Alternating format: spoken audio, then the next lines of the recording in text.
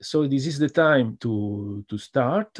And the first talk is by René Thiemann. And uh, I give him the to start. And so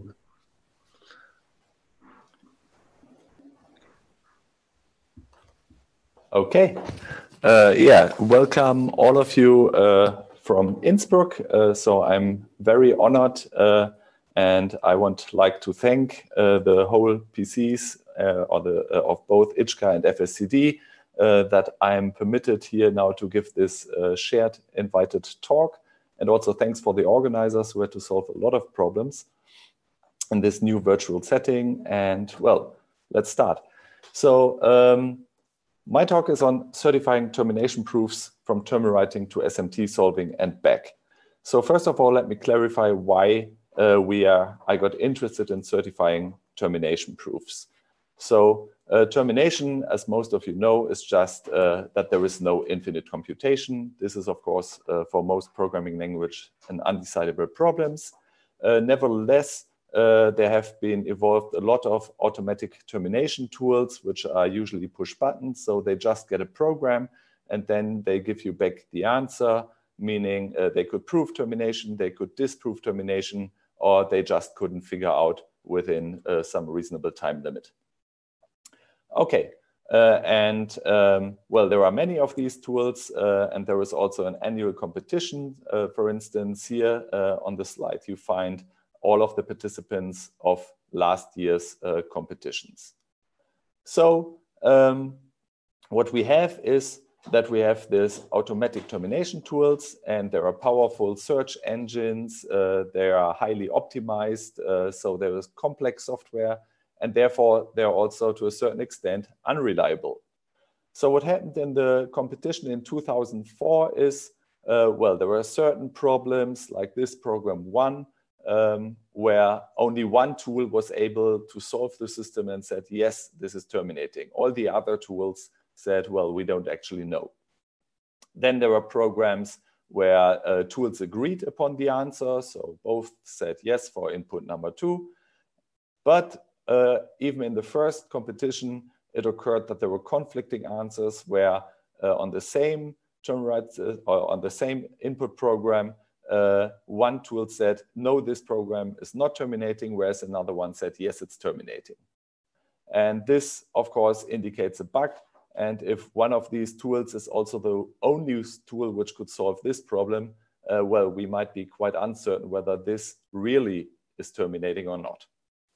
But in the 2004 competition, uh, you really just got one bit of information. So just the answer, yes, no, or don't know. Okay. Therefore, the rules in the upcoming year were immediately changed, namely um, that uh, we demanded in the competition that there are at least human readable proofs. So you had uh, to have some certificate which tells you why it's the case. And in the meanwhile, uh, so uh, one of these tools were fixed. So for this uh, input program three, now the tools agreed that this would be non-terminating, but there were new problems. And here again, there were uh, conflicting answers. And of course, you could have a look at the human readable proofs, but these are sometimes very large and manual checking uh, is just often not feasible and at least error prone. Therefore, in the 2007 competition, um, there was also the option to provide machine readable proofs so that uh, others, uh, so that these proofs can be machine checked and then, for instance, uh, if you have a new problem uh, where there is a yes-no conflict, you can immediately check which of these proofs is wrong. Moreover, uh, even for this uh, input program one, where there was only one tool which could solve it, you can now check the proof whether it's indeed correct. So how does it work? Um, we take the certification approach. We have on the one hand, uh, the automated tools here, um, these get the source as input, provide some yes, no answer in combination with some machine readable certificate. And then you have another program indicated by this wise owl here, which just checks uh, uh whether this certificate indeed corresponds to a valid termination proof and says, okay, or it may reject the proof and then uh, actually it might be the case uh, that the whole proof or even uh, the tool itself is bugged. Or it can also happen that the certifier just says, well, this is a termination proof. I just don't understand, so I cannot say anything about it. Well, uh, having such a nice uh, looking picture here, of course, is not sufficient to be reliable. So the certifiers itself, they should be reliable, and therefore their soundness is proven rigorously in some proof assistant like Coq or Isabelle. And um, with the help of these certifiers, several errors in tools have been detected, but also in published papers during the formalization of the termination techniques itself. And in the beginning, for term rewrite systems, uh, there were three certifiers available. Uh, there is the uh, Coq library on rewriting CoLoR and a corresponding front-end rainbow developed by Blanqui. There was uh, the Coccinelle library, uh, also for Coq, and the corresponding tool CiME3 helped to generate Coq scripts. And uh, there is our own development by Christian Sternagel and myself. It's the Isabelle formalization of rewriting and uh, the corresponding code-generated Haskell program, CETA. And then the rest of the talk, I will mainly speak about the evolution of ISAFOR CETA over the years. So we will start with how uh, termination proofs of rewrite systems. We will then go over to integer transition systems, which we included in 2017. And at this point, we also got interested into SMT solving. And then we go back, as indicated in the title, to term rewriting, namely by um, including the weighted path order, a termination technique for uh, term rewriting. What I will not cover in this talk are other features of ISAFOR uh, because of time constraints, like doing checking uh, complexity proofs, confluence proofs, or uh, termination of LLVM programs. Good. So let's start from term rewriting. Of course, if uh, we want to do something formal, we should have first a formal model of term rewriting. So we looked at textbooks and um, there you usually find how to define term rewriting. So you assume that you have some signature, so symbols with arities. There is some set of variables, and then you can define uh, well-defined terms over the signature in the usual way. Um, then based on terms, you can build a term rewrite system. It's just a, a set of rules. Left term goes to right term, where there are certain conditions imposed that the variables on the left must be a superset of the variables of the right, and the left-hand sides may not be variables. Once uh, you have settled this notion, you can define the rewrite relation just by saying, whenever you have a rule, you can instantiate it by some substitution sigma and plug a context C around. That's term rewriting. So very uh, nice, crispy definition, um, fits on one slide, and therefore it's also not so difficult to formalize. Nevertheless, uh, when we started to formalize exactly these definitions, it actually became quite tedious uh, in doing so because there was quite some overhead and showing and maintaining uh, well-formedness of the terms all the time, uh, all the time, right? Because uh, here you only are allowed to build a term uh, of some function application if you supply the right number of arguments according to the arity.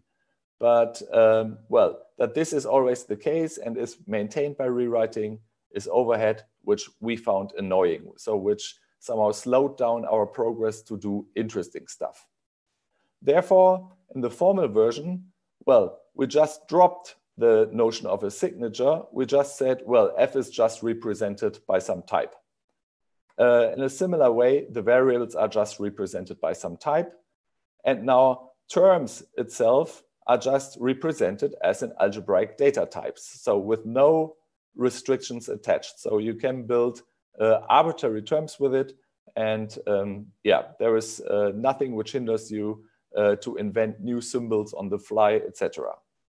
Similarly, for a term rewrite system, uh, we completely dr just drop this condition on the variables and just say, well, a term rewrite system for us is nothing else than a set of pairs of terms. That's it. Well, the rewrite relation itself, that can be taken over as it's stated here. So there is no change required. So what ISAFOR currently has is a, a very simple model of term rewriting, ignoring the signature, also ignoring any kind of variable conventions. So it poses no overhead. Uh, it's generic because it also allows you to reason about a rewrite system which have fresh variables on the right, which for instance was useful uh, for an external application by David Zabel. And well, however, when doing so, of course, this might bite you because it might be problematic when signatures, for instance, are crucial. So let us have one um, particular technique. Uh, in ISAFOR, we want to support um, recursive path order so that CETA then can check termination proofs via, which are done via recursive path order.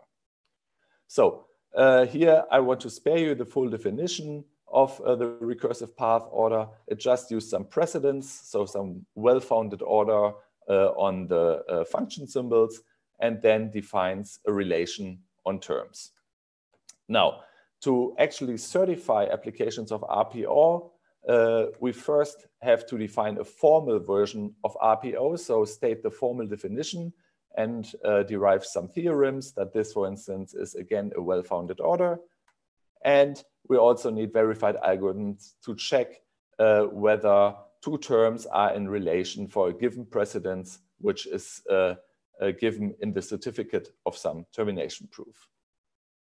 So um, what we do here, most of the time, we closely follow the existing proofs. I mean, we want to have uh, make uh, quick progress, so we don't want to invent everything from scratch. But uh, at certain points, our design decisions leads to deviations. The first problem is um, the, that we usually um, only have partial signature.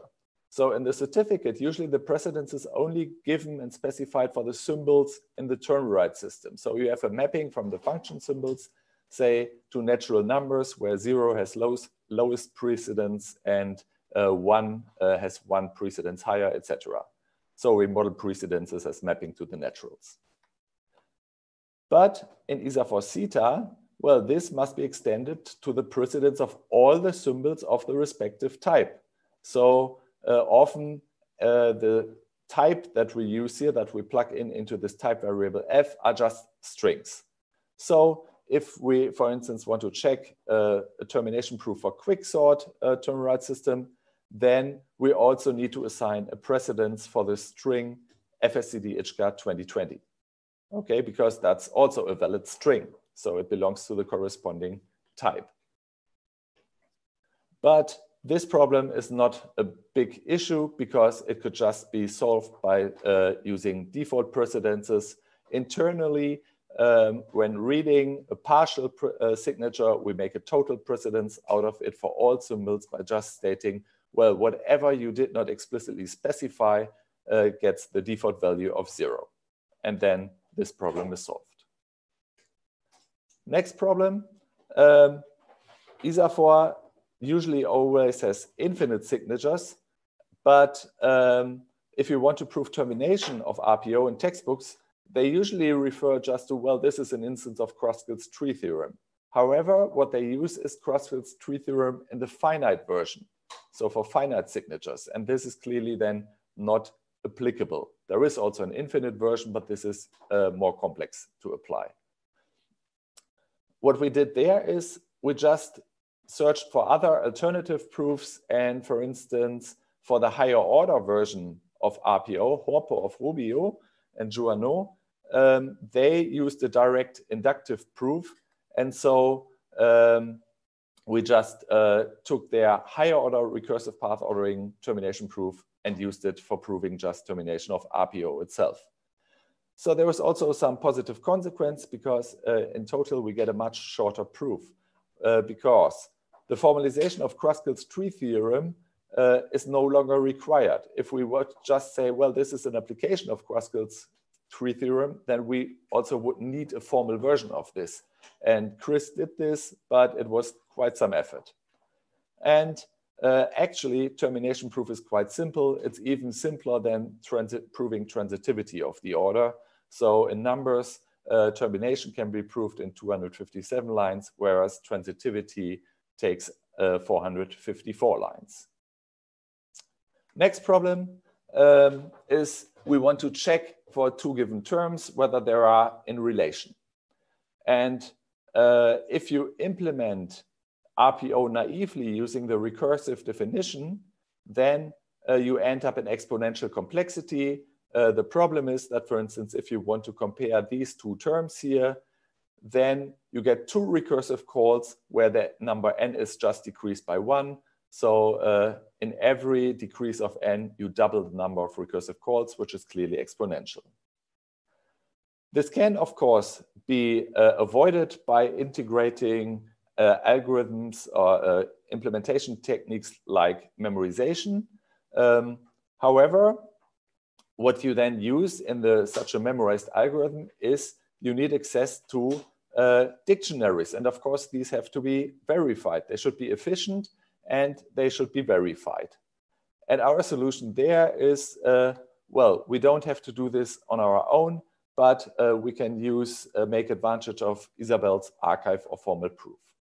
What is this archive of formal proof? So it's a collection of formal libraries for Isabelle, which is maintained and updated for every new version of Isabelle.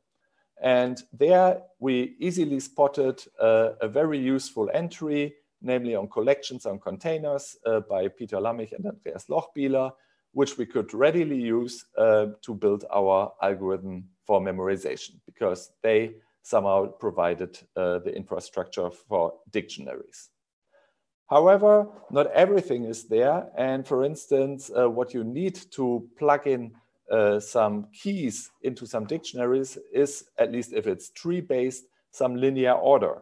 And we want to plug in many different uh, key types.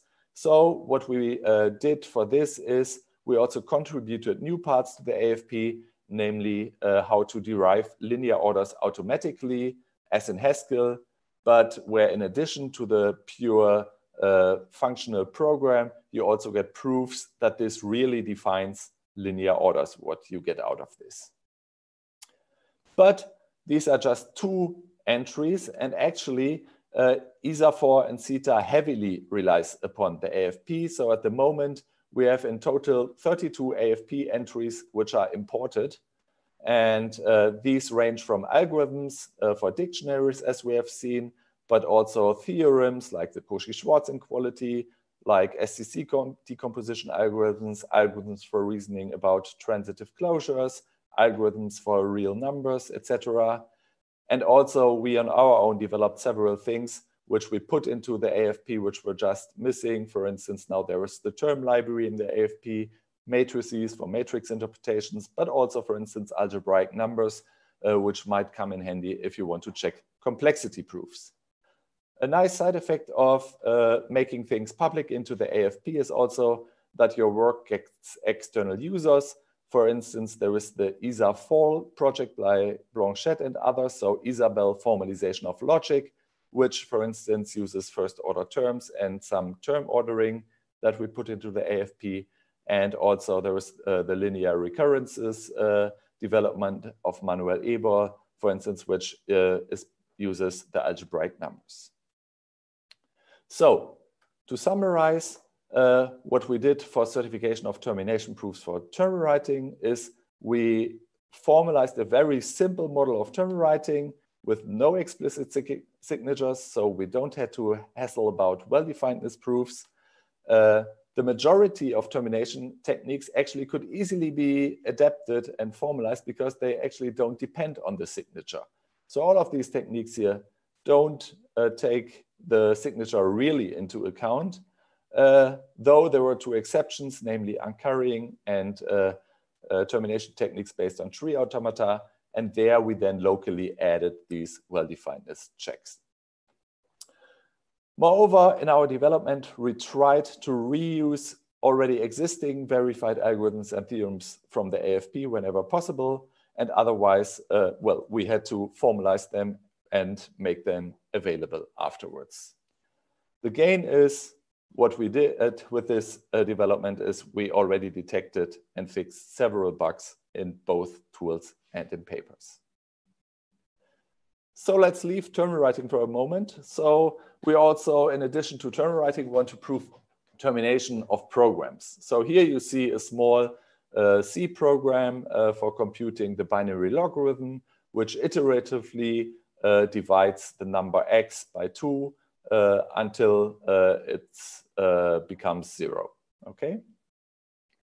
And, well, a more formal setting is to use the call graph or do a call graph abstraction and then translate this into an integer transition system where we have here for the uh, three locations A, B, and C. We have corresponding nodes in this uh, transition system.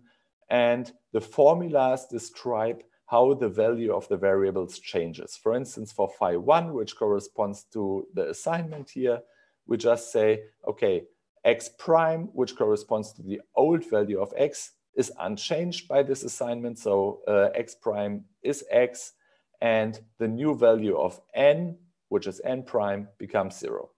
And similarly, we do for the while uh, loop where we have two transitions. Either we enter the loop once and stay at the beginning of the while loop, or we leave the loop if x is smaller or equal than, than zero. So how do we prove termination of uh, ITSs? Um, well, a very popular technique for this is uh, just by using ranking functions. Um, this ranking function is usually then synthesized by some external tool. And what do we need to check for such a ranking function? Well, a ranking function for every loop means that, uh, first of all, the value of the ranking function with a, for the old value of the variable, so fxn, must decrease by at least one. So fxn must be greater equal than the new value of the ranking functions for the new values of x prime and n prime, um, plus one. So we must have a decrease of at least one. And at the same time, since we have integers here, we must also ensure uh, that the value of the ranking function is bounded by some constant. Okay, and for instance, uh, a termination proof, then the certificate might be that for, uh, for this particular ITS, a suitable ranking function is x, and a suitable constant here would be minus 1. So what we have to do is now uh, to check whether these formulas that describe the decrease and the boundedness are really valid formulas over the integers. This, of course, validity of formulas can be turned into unsatisfiably uh, of the negated formulas. So we have to prove that these formulas here uh, are both unsat. And then what we essentially need is an unsatisfiability checker for uh, a set of linear inequalities.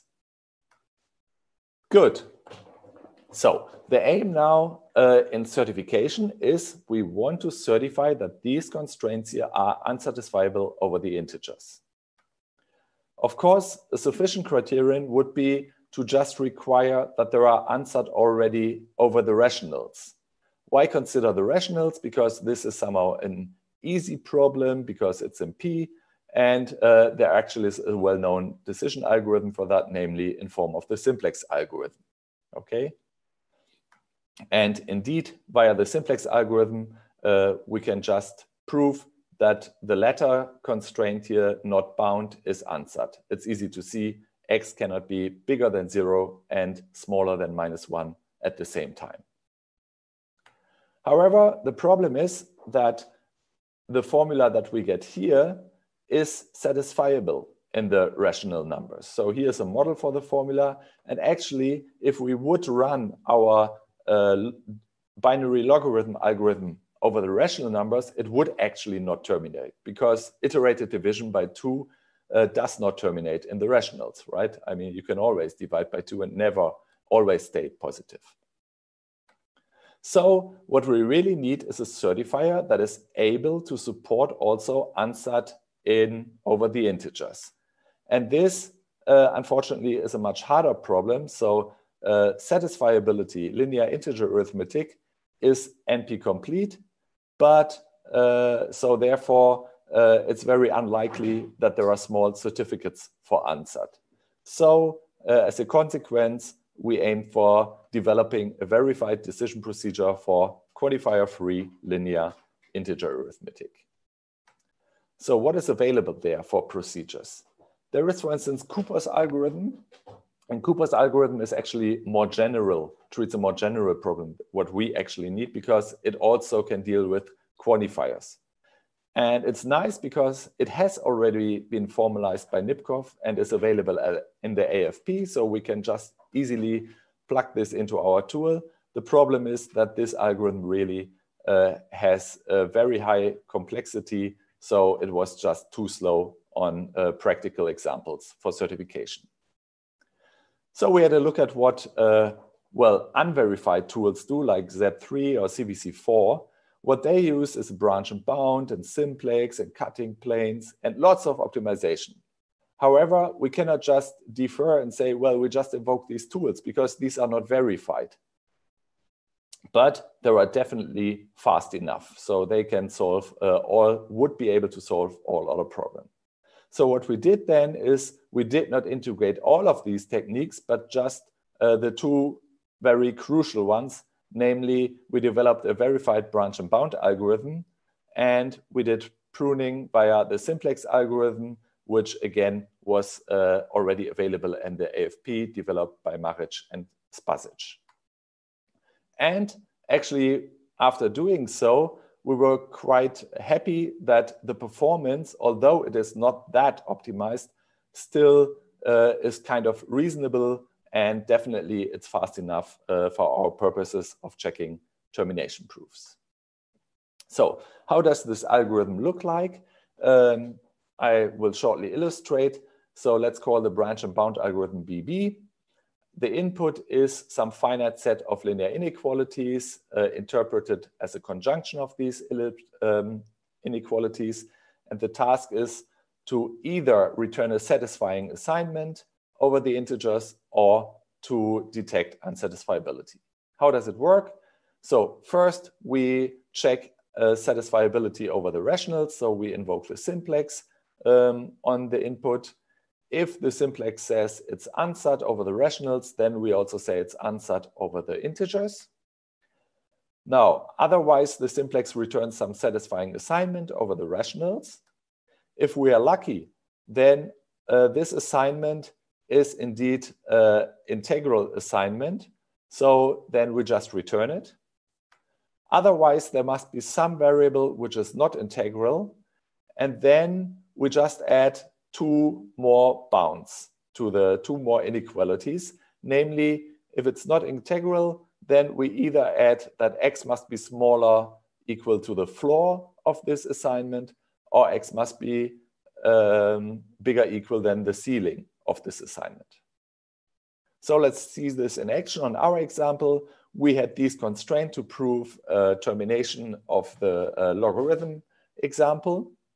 Now, uh, we first invoke the simplex. It gives us back some rational assignment. So we now have to add this new constraint. First, we check, uh, add the constraint here that x prime, which is one half, is at least one. And then the simplex says unsat. So we are done with this branch. Um, or the x prime must be smaller equal than zero. Then the simplex algorithm returns a new satisfying assignment here.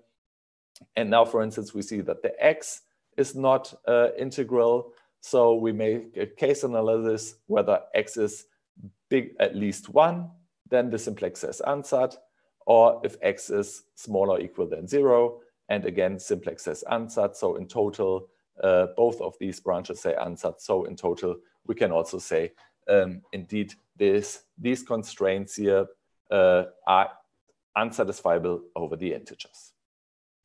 However, there is a problem though. So these constraints here have the solution depicted in red here. So you see that there are no integral solution. However, when running the algorithm, well, first we get some valid assignment over the rationals, uh, so some solution over the rationals, and then we would somehow prune the search space by saying, no, it cannot be here in the middle. It must be either larger than this part or lower than this integer here. So we cut out this space and now have to investigate both parts. Now let's continue with the red part. We again get a new solution and we will prune it again to cut out this part. And then we would prune here, we would prune here, prune here, prune here, prune here, etc. But uh, this would go on forever. So branch and bound in general is not terminating. And uh, the problem is that the search space a priori is unbounded. So to really verify formally that branch and bound can be used to decide satisfiability, we actually have to turn this into a terminating procedure. How do we do this? The aim is to prove the small model property. Small model property meaning that whenever some set of linear constraint has an integral solution, then there must also be a small solution, or which is where all the values are within a certain bound, and these bound can be pre-computed uh, via the number of variables uh, of the linear inequalities and the highest coefficient, uh, the highest numbers that occur in the linear inequalities. Okay, and once we have proven such a bound, then we can really just bound all variables via a new constraint from below and above. And then we have not an infinite search space anymore, but a finite one. And then we can really decide uh, solvability. Okay. So, um, however, that this really now searching in this restricted space uh, is sound for proving unsat, uh, that uh, is some deeper result here and requires several um, theorems from linear algebra uh, to be formalized. Uh, for instance, the fundamental theorem of linear inequalities, etc. And all of these uh, theorems actually need to be there in a bounded version so that we can extract how large the numbers get in these theorems. But this has now been done and it's available in the AFP 2020. So uh, whenever you use uh, need such a formal result, just import our theory from the AFP. Good. So to summarize, for certifying termination proofs for ITSs, um, well, ITSs are again a nice language because they it is quite small, it has a clear semantics, and is therefore similar to term rewriting. Um, but certification becomes much more difficult because uh, now uh, we need a verified SMT solver uh, for proving unsat of formulas. Um, th to this end, we actually used a verified SMT solver, and uh, this is not as powerful as uh, Z3 and uh, CVC4, but its performance is at least sufficient to check existing termination proofs. Good, so far for the second part of my talk. Let's move on to the third part. So we go back to term rewriting. Um, there, I want to show speak about the weighted path order. So let me go back to uh, the year 2013, where there was a actually very exciting termination competition Namely, there was a newcomer NaTT, uh, developed by Akihisa Yamada, and it immediately got second place. So, which was already uh, very remarkable. But what was even more remarkable is um, it achieved this second place by implementing just one term order. so it only supported the weighted path order. So uh, this is a really uh, important result and uh, yeah, um, indicates why it's worthwhile to study this weighted path order in more detail. Moreover, by uh, his implementation NaTT, 34 problems of the then open problems actually could only be solved by uh, the tool NaTT. However, this is a new tool, uh, new ordering. So the question is, how can we be sure that these 34 open problems really are solved now? So can so to this end, what we did is uh, we certified the weighted path order and you find the corresponding paper also in the FSCD proceedings. And this is joint work with Jonas Schöpf, Christian Sternagel, and Akihisa Yamada. And as a result, at least all of these 34 termination proofs could be certified. So let's now uh, go into the details. So what is uh, WPO? WPO, developed by Yamada, Kusakari, and Sakabe, has a structure which is very similar to RPO, the recursive path order, but integrates a weakly monotone algebra, like a polynomial interpretation or matrix interpretation. So we have the ingredients as ingredients, the precedence as an RPO,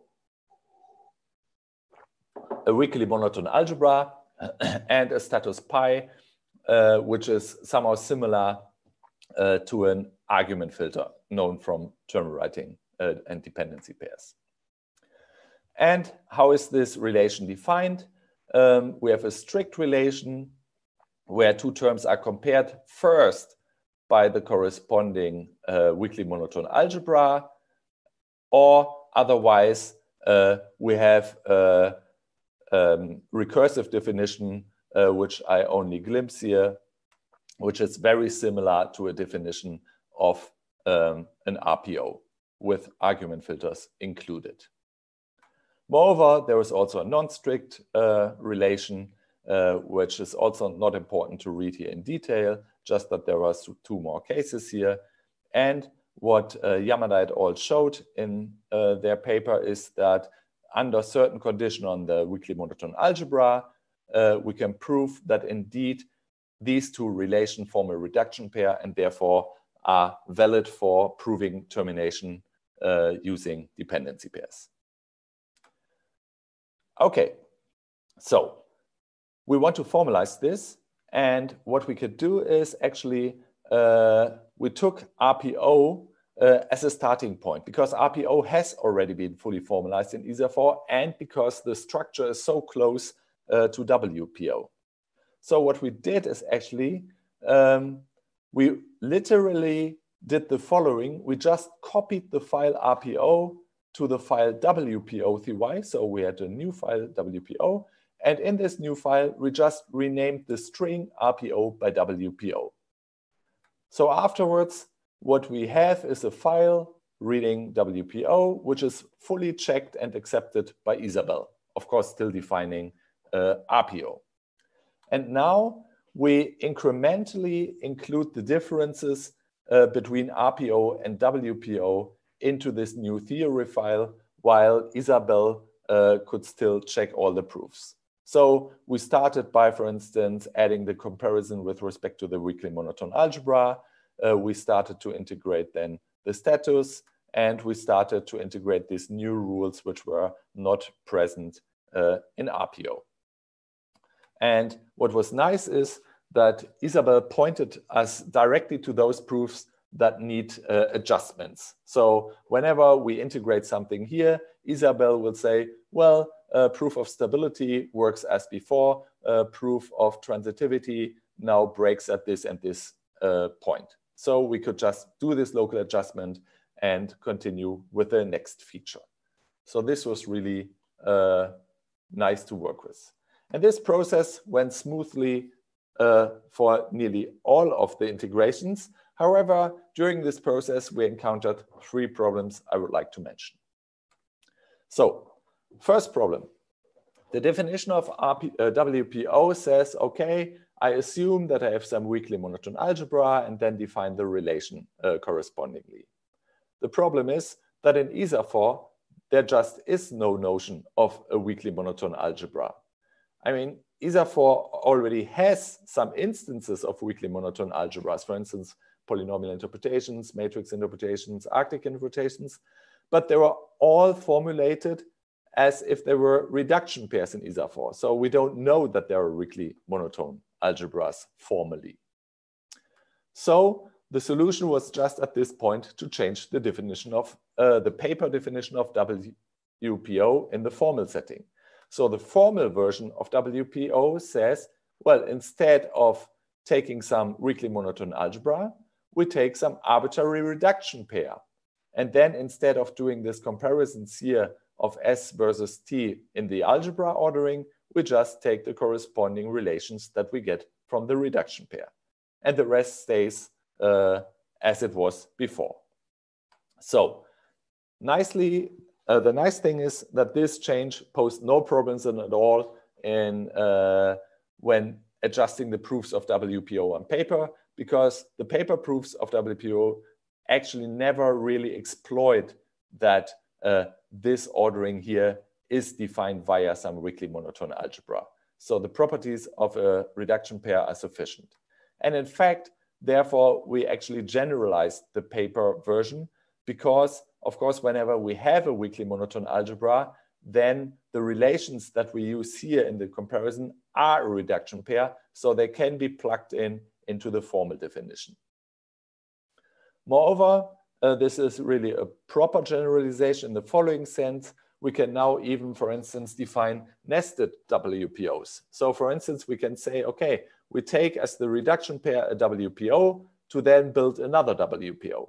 Whether this uh, is useful uh, for power, uh, we did not yet investigate, um, but at least uh, from the theory side, uh, it's permitted, it's sound to build reduction pairs in this way. Second problem. The second problem is um, that these two cases for the non-strict relation are actually added later on in the uh, paper version of WPO. And there, uh, the paper proofs are not complete anymore. So these cases, these two additions are not handled in full de detail. So uh, when we try to formalize it, uh, we actually revealed um, that this last rule will break the transitivity proof of WPO in some corner cases. So for instance, uh, you can prove with adding this rule that x is bigger than some constant c, and this constant c is bigger than a variable y, but uh, x is not uh, bigger than y in WPO. So this is clearly violates transitivity. For some very artificial um, redu underlying reduction pair, namely where uh, the non-strict relation relates everything and the strict relation is just empty. But of course, such cases may occur. But uh, luckily, this is really the only corner case because um, by excluding precisely this corner case, by requiring that the strict relation is non-empty, uh, we could show that then indeed all the proofs are accomplished. And this is not only important for transitivity, because transitivity was just the first thing with breaks, uh, but other properties of WPO uh, depended, at least the proofs depended already on transitivity of uh, the non-strict relation. So also other things make Breda. Good. In total, what we have at the end is a formalized theorem that uh, if we have the precondition that uh, the non-strict relation is simple and we have this new mild precondition, then indeed we have a reduction pair. Good. So WPO can be used. However, there's also a third problem. And the third problem um, is about what uh, are actually instances of these um, uh, reduction pairs or these weakly monotone algebras. And a very popular instance or a very powerful instance also is by using max polynomial interpretations. If you don't know what a max polynomial interpretation is, well, it's just like a polynomial interpretation where you assign to each n-ary symbol um, an arithmetic expression which can use uh, numbers, addition, multiplication, but additionally the maximum operator. So for instance, you can say that uh, I measure an if then else uh, by the maximum of the last two arguments. And the list constructor cons might be a standard polynomial like uh, list length uh, 1 plus uh, the length of the second argument. Okay? So these interpretations were not available in IsaFoR when integrating WPO, but for certifying uh, the proofs, we of course wanted it because it's often used in combination with WPO. So to this end, uh, we of course had to formalize that indeed max polynomial interpretations are a reduction pair.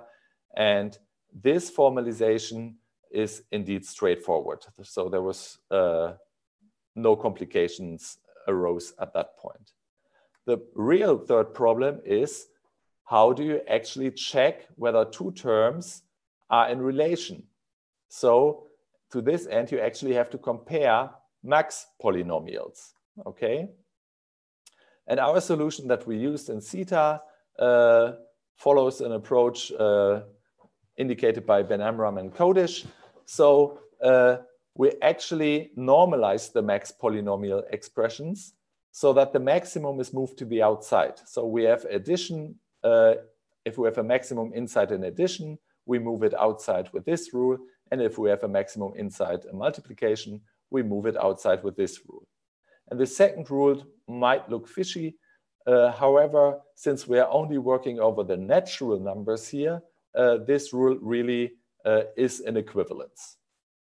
As a result, what we get is interpretations of the term SNT of the form uh, a big maximum operator on the outside, and uh, in there are ordinary polynomials uh, as we know them from polynomial interpretations. So what we can do is we can transform such a term constraint into the corresponding max polynomial constraint. And then this, if all of the maxes are outside, we can equivalently express that as a conjunction of a disjunction over polynomial inequalities.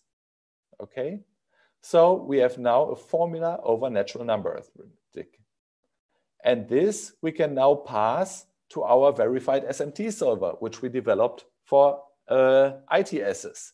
So this is now very handy because what we do is we just pick this uh, resulting formula and additionally plug in that all the variables that occur in there are indeed natural numbers by adding the constraints that the, uh, they are bounded from below by zero. And um, then we're done. And it's nice to have this verified solver because without this verified solver, so getting, for instance, help uh, via certificates, this would become very bulky. Because for checking a single WPO constraint, what you do is you do this uh, comparisons with respect to the weakly monotone algebra for all subterms of the corresponding constraint. So you get in total n, at least n, uh, or roughly n squared many invocations to check whether some uh, terms are related in the weakly monotone algebra. And if you want to provide hints for all of these comparisons, that would be a big overhead in the certificates. Therefore, we're happy uh, that we can just invoke the verified SMT solver there. We also did some experiments in this work. So um, WPO is integrated both in uh, NaTT and now also in TTT2. And we compare two settings, uh, namely one version of NaTT where everything is allowed and one where NaTT is restricted to the certifiable setting and similar for TTT2. And what we see is that we get uh, quite some low penalty in power. So if we restrict to the certifiable mode, we only lose a few percent of the proofs. So for NaTT, we lose 14%, and for TTT2, even only 9% of the proving power. So uh, you uh, restricting to certifiable techniques uh, is not that severe. Um, even less severe is that uh, the price you have to pay for additional time, because if you see the time to find and synthesize the tool is by far more than the time to afterwards check the uh, corresponding um, proofs by, by CeTA. So it's 9% for NaTT and 0.4% for TTT2. However, there is also a big gain, namely uh, what you gain is reliability. So uh, all of these 700 plus 750 proofs here are now uh, really checked proofs or trustworthy proofs. Good. To summarize my talk, uh, what I presented here, and I hope I was able to convince you that certification of termination proofs is worthwhile. It's also feasible, uh, all the more, uh, well, it becomes um, gradually more feasible because all of the existing libraries grow uh, in the whole Isabelle community and also, I guess, in Coq and Lean communities, etc. And of course, it's also fun. So uh, you get insights into a lot of topics. So uh, at the beginning, well, uh, my background is from term rewriting, but then I had to study linear algebra, I had to study algebraic numbers, etc. And delving into these topics uh, was just uh, nice. What we usually do is uh, we try to keep our formalization sim as simple as possible and therefore sometimes deviate from the textbook definitions. Uh, what we heavily base on is the AFP because uh, it offers many verified algorithms and also uh, proofs, uh, which we need for our uh, developing even larger proofs.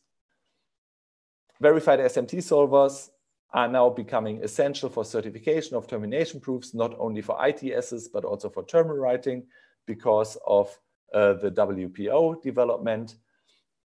And this WPO really is correct. So uh, it can be used in termination proofs after adding a mild precondition. And everything of this resulted in our certifier CeTA, which is currently used uh, in the termination competition uh, to check thousands of termination proofs. And actually also it's used in the termination upcoming termination competition, which will be presented live at IJCAR um, on July the 4th. That's it from my side. And I thank you for watching.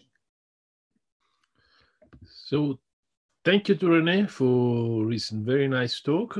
And uh, I do not know how to clap in uh, in this virtual setting.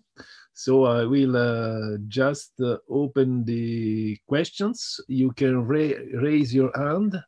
Uh, otherwise, there is already a question sent on the question and answer by Jan-Georg Smaus. So maybe you can just uh, uh, ask your question by yourself. Now you are allowed to talk please ask your question.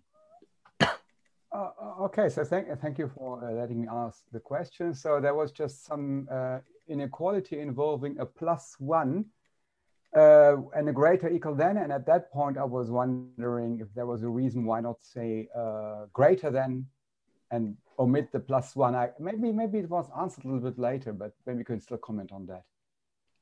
Okay, I guess you're referring to this uh, slide here where we had the decrease by at least one. Absolutely. Um, absolutely. So initially, when we did this um, reasoning, um, we didn't have the support of uh, linear ration, uh, of linear integer arithmetic. Uh, so what we did at that point is uh, we interpreted everything over linear rational arithmetic, and then there is a difference between x is bigger than uh, x prime or x is bigger equal than x prime plus 1. So on the integers, this is equivalent.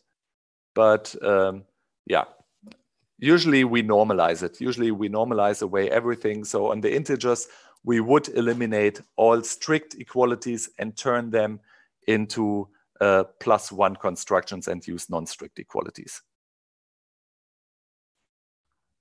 Okay, thank you. But but at that point, formally, you might have you, you might have just as well chosen plus two or plus three wouldn't have made a difference from formally, right?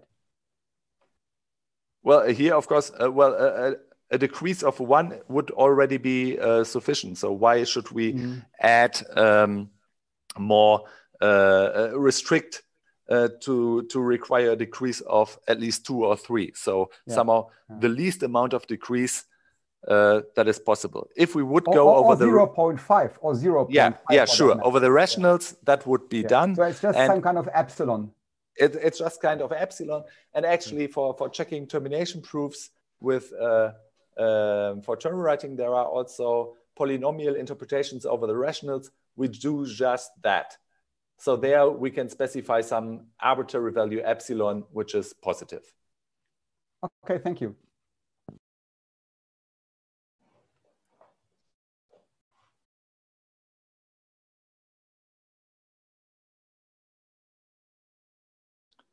Should I answer the question of Stefan Kahrs?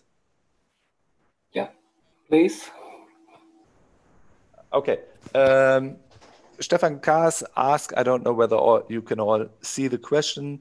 Well, you mentioned that there are several checkers for termination proofs. Is there an agreed language for what these proofs need to look like? Um, well, uh, initially there was none. So initially, actually, what I presented here, um, there are the three certifiers, CoLoR Rainbow, Coccinelle CiME, and IsaFoR CeTA, and all of them uh, had their own language how to express proofs. But this was, of course, very inconvenient uh, for the termination tools if they would uh, if they would have to support uh, three different proof formats at the same time. And therefore, later on, there was some agreed format. It's the certification proof format CPF, which was developed uh, as a collaboration of all of these three certifiers uh, and it is uh, openly available now. Uh, yes, still extended to new um, methods, and yeah, there is this agreement now. And what does it look like? Well, it's an XML format, uh, which uh, mainly indicates the proof structure. So, for instance, I applied first uh, say uh, dependency pairs, then I do SCC decomposition, and then I use RPO for this with this precedence. And for the other strongly connected component, I use that relation. Or for ITSs, uh, it would be like, well, combine these three ranking functions lexicographically, etc., or uh, include some invariants, and here are the invariants, etc. So this is the level of detail uh, that is expressed there. Thank you. The, are there other questions, please? Uh, is, uh, don't be shy. You can uh, either raise your hand or uh, ask in the question answer. I'll, I'll let you. So there is a question in the chat by Manuel. Okay, I, I, I will let you ask your question directly. Manuel, please. Yes, hello. Can you hear me? Yes. yes. Great. So uh, you said that you saw you compared these max polynomials using uh, your SMT approach, but that was only for linear integer arithmetic, and polynomials are nonlinear. So how does that work? Okay. Um, good point. Uh, well observed. Uh, what we do there is we first uh, linearize. Uh, so somehow, whenever, say, for instance, there is an x square we would invent a fresh uh, variable at that point and add additionally the constraint that uh, this new variable is at least zero. So we try to infer some more knowledge. But uh, yes, you're right uh, that they are, uh, well, we can only have a decision procedure if it's really, if the input was uh, for linear integer arithmetic, but there is a pre-processing which at least preserves um, in a way that validity of the resulting linearized formula implies uh, validity of the nonlinear formula. Mm-hmm. But these are multivariate polynomials as well, right? Yes. Okay, so yeah, so, so if like you have something, y. yeah, if you have x times y, then you add uh, a new variable, replace x times y by a fresh variable z, and then you don't have any information about what z is. And what do you do if you if this is too coarse, this approximation? Oh, then we just fail. Okay. Then we just say in the, I mean, what you get here, uh, uh, I show it here. Um, either you get an okay or you get a reject, and the reject is usually a detailed error message why CeTA believes that your proof is not correct. And sometimes it explicitly says, well, this does not hold. And sometimes it also said, well, uh, here it might be wrong. We at least couldn't figure it out. So uh, the kind of error message indicates whether we use some approximation at some point, point or not. Okay. So there is another question by uh, Ariana Almeida. So please, Ariana, you can ask your question now. Can you hear me, Ariana? Yeah, hi. Can you hear me? Yeah, please. Yep. Please So, ask your question. You, you showed different uh, strategies for proving termination, uh, some for rewriting systems and some for uh, programs, right? So the thing is, uh, we can use these different strategies for uh, the other setting. I mean, use the strategies that we have for rewriting systems to prove termination of programs and vice versa. And what do you think would be necessary to do so? Yeah, I mean, what you can do there at the moment, uh, honestly, uh, no, we don't support this. So there is no uh, translation between uh, the two of them.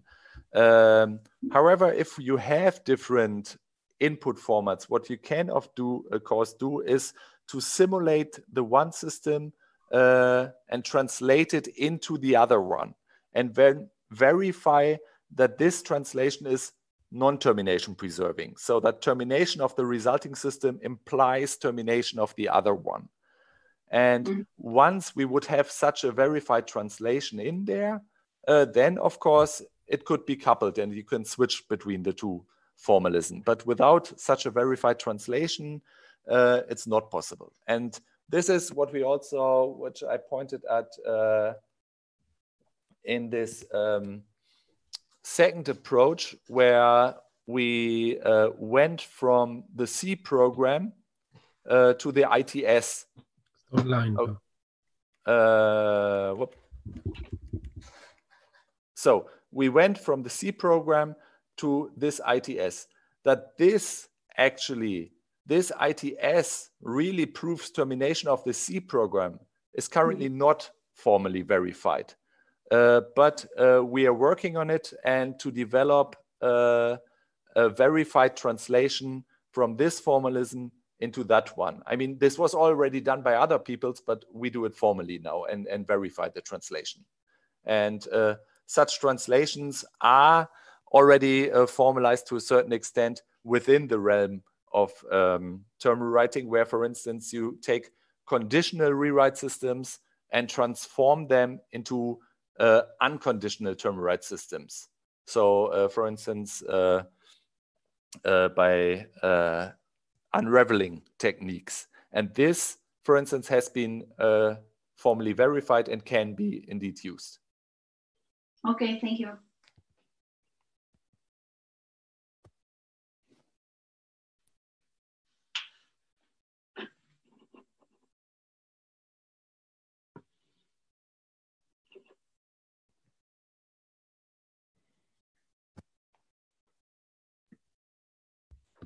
I don't know. So if there are no more questions, let's thanks um, uh, René again for his nice talk. And uh, thank you everybody for watching, for attending this first uh, session. Therefore, uh, we shall uh, have, uh, we'll have a coffee break. We shall, there is a, a virtual coffee break